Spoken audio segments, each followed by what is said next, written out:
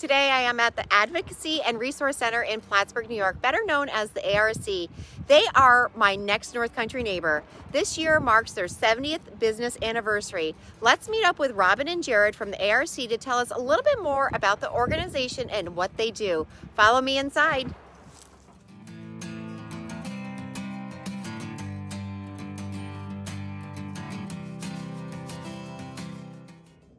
I'm here with Robin and Jared, who are part of the ARC, and they're going to tell us a little bit more about their the organization and what they do here for our community.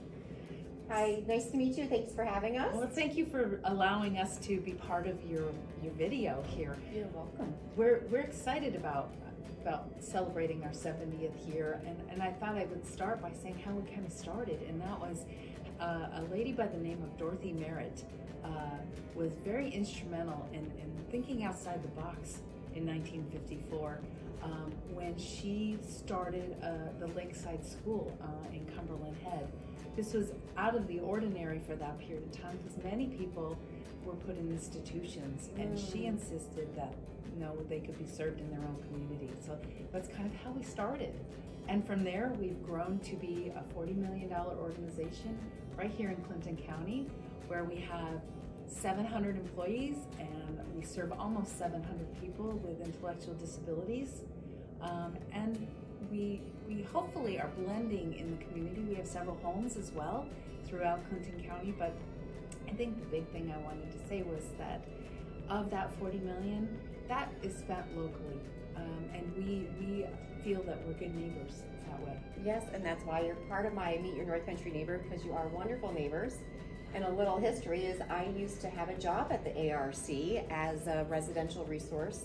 So I have a little bit of a connection and I'm glad to be back here with you. Well, just about celebrate that. That's a wonderful thing. Yes. Thanks for having us. And Jared's going to tell us a little bit about all the events that are happening uh, that they put on throughout the year, which is amazing. Yeah, so one of our uh, most important things is to be active in our community, have a presence, let people know who we are and that we're here. So we have a lot of events. Our next one is next weekend, Shamrock and Roll, happening at Westside Ballroom.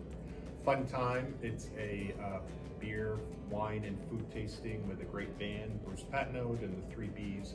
Fun time, and it's a great fundraiser for our ARC Foundation. And everyone's welcome to join that. Everybody's welcome. Um, you can call us for tickets 518-324-8176 and we're going to include the link to their website below along yep. with some information about the tickets and uh, this most uh, upcoming events Yep, and so we have a couple other things uh, to highlight our 70th anniversary. We're going to be doing something, a big community event in August.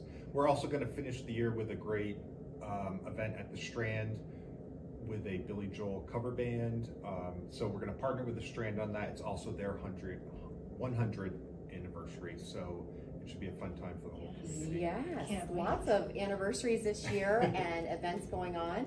And you have a lot of uh, information on your website that I mentioned, and we're going to take you through the video and show you some of the activities that they do throughout our community. So enjoy.